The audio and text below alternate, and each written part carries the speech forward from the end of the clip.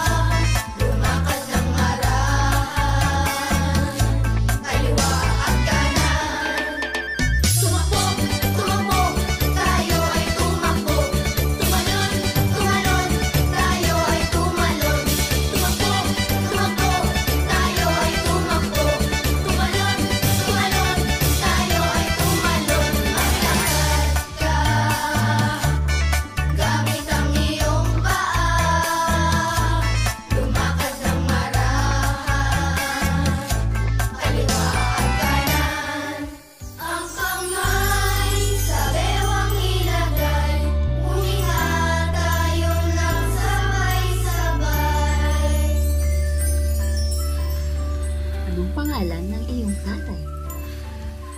Ano naman ang pangalan ng iyong nanay? Masaya ka ba kapag kapiling sila? Magaling! Mga bata, halina't makinig sa ating tula. Ang ama't ina ko. Sa lahat ng tao, dito sa mundo, wala pang tutulad sa ama't ina ko. Sila ay naghirap, sila ay nagsikap na ako'y lumaki at sumayang ganap. Kaya naman ngayon, ang lagi kong layon, sa aking magulang, ako'y makatulong. Ito ang aking tatay. Ito naman ang aking nanay. Masaya ako kapag kapiling ko sila. Ano-ano ang iyong mga paboritong laruan? Bakit mo ito gusto? Ano-ano naman ang iyong mga paboritong merienda? Bakit mo ito gusto? Naglalaro kami ng jigsaw puzzle at ang aming merienda na napakasarap ay jelly.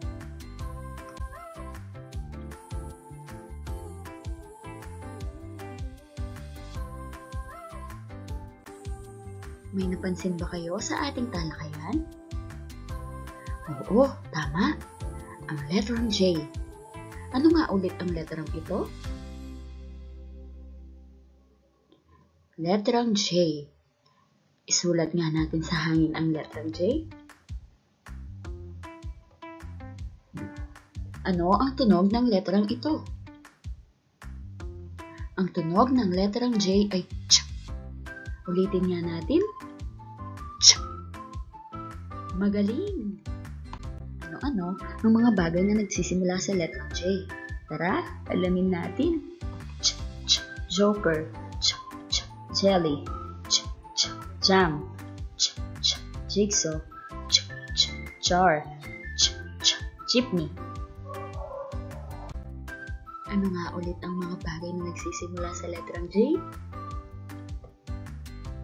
Joker, jelly, jam, jigsaw, jar, jeepney. Magaling! Magaling!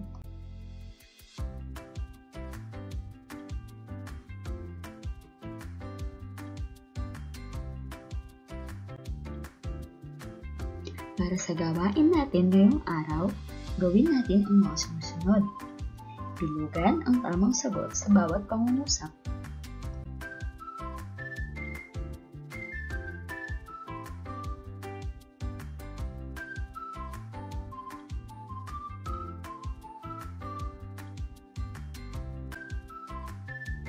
Para naman sa gawain 1, gumawa ng stick puppet ng inyong magulang.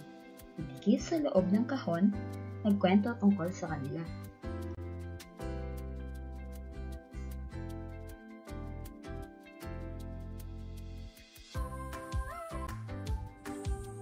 Para naman sa gawain 2, kulayan ng lila o violet ang tamang titik sa kahon na nagsisimulang tunog ng larawan. Isulat ang tamang titik sa guhit.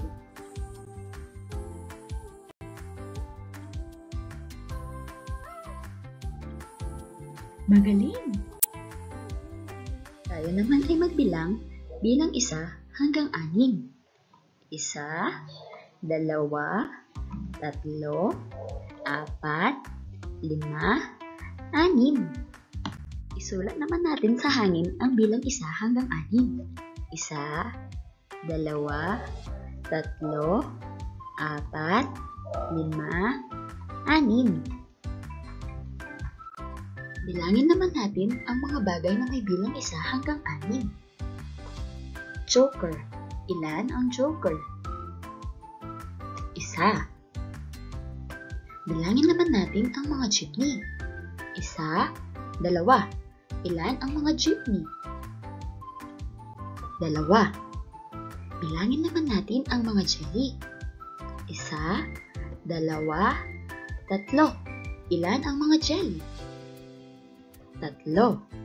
Bilangin naman natin ang mga jigsaw puzzles. Isa, dalawa, tatlo, apat. Ilan ang mga jigsaw puzzle? Apat. Bilangin naman natin ang mga jam. Isa, dalawa, tatlo, apat, lima. Ilan ang mga jam? Lima. Bilangin naman natin ang mga jar. Isa, dalawa, tatlo, apat, lima, anim. Ilan ang mga jar? Anim.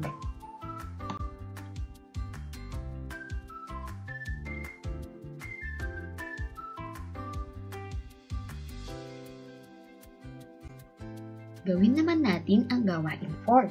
Para sa gawain 4, gulayan ang katumbas na larawan ng bawat bilang.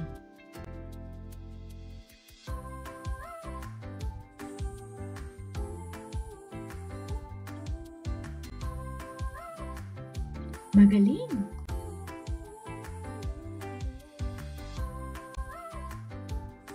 Halina, panoorin at pakinggan natin ang kwentong Ang Walong Kaibigan ni Erika.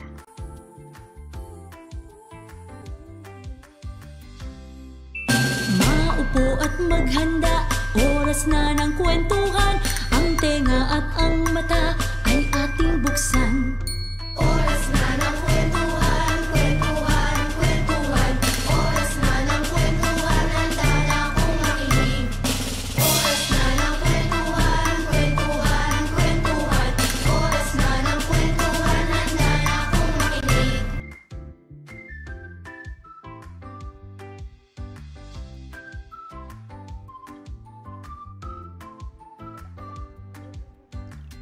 Magandang umaga mga bata. Halina't makinig at samahan niyo akong muli sa ating kwento.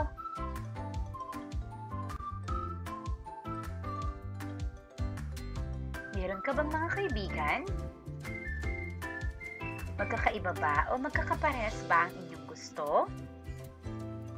Magkatulad ba kayo ng mga paboritong kulay o hindi? Anong iyong paboritong kulay? Bakit? Kaaya-aya bang tignan ng buong paligid kung kasing kulay nito ang iyong paboritong kulay? Bakit? Simulan na natin ang ating kwento.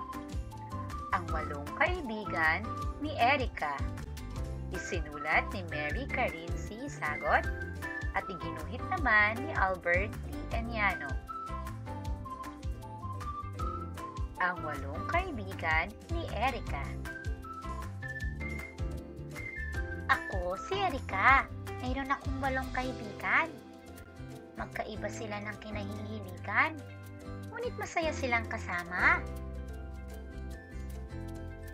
Siya ay si Celia. Mahilig sa kulay pula. Pula lahat ng damit niya. Pati sapatos niya ay kulay pula. Ito naman si Arnold. Gusto niya ay kulay asul. Pangarap niya ay maging piloto. Eroplano ay papaliparin ng mataas patungong asul na kalangitan. Itong si Danica naman, pagkain dilaw laging dala. Surpetes, lollipop, manggad saging. Kahit anumang pagkain, matamis man o maasim. Verde naman ang gusto ni Bernie. Pwedeng kulay, laging kinakain. Ang palaya, malunggay at pechay, gustong gusto niyang lamunin. Si Karen naman, ang gusto ay kahel. Tuwing malakas ang ulan, kahel na kapot at payong ay hinahanda na niya agad suotin. Ito naman si Yumboy. Kulay ube ang gusto. Sa kanyang damagang paglalaro, kulay ube na bola ay kanyang palaging sinasalo. Ito naman si Tessie. Tsokolate ang paborito niya. Ano mang inumin at pagkain, basta't kulay nito'y tsokolate, kanyang dali-daling pinipili. Heto na't may paparating. Andito na si Ting. Kaibigang mahilig sa itim. Gitara niya na napakaitim. Handa na niyang patugtugin. Madalas pag kami nagsasama-sama, ako ay napapaisip. Para yatang crayons kami.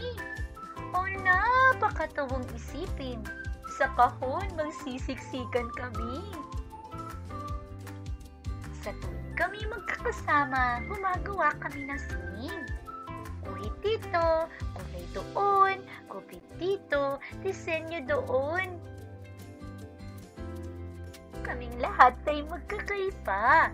Mga kulay nang hindi magkakasing tulad, ngunit kahit magkaiba man, kaming lahat nananatiling magkakaibigan. Palaging matatag ang aming samahan. Sa aking pag-uwi, ngiti ay baon lagi. Walo kong mga kaibigan, nagpapakulay sa buhay ko lagi. Ang walong kaibigan ni Erika.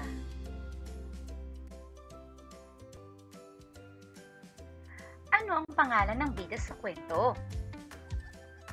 Pangalanan mo nga ang mga kaibigan ni Erika? Ano-ano ang mga kulay na nabanggit sa kwento?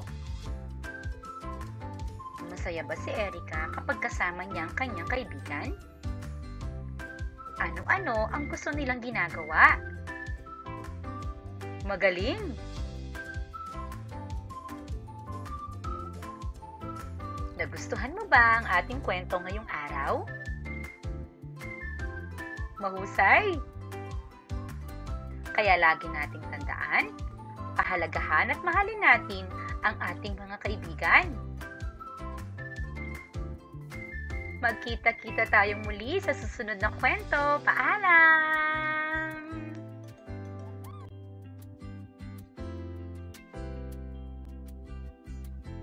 Ano-ano ang mga kulay na nabanggit sa kwento? Ilan ang kaibigan ni Erika?